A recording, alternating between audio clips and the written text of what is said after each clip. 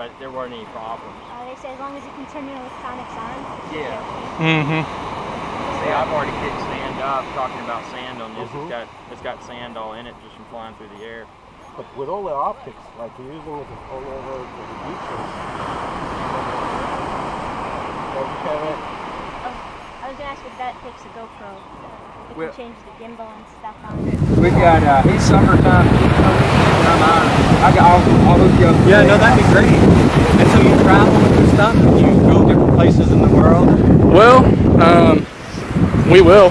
This is our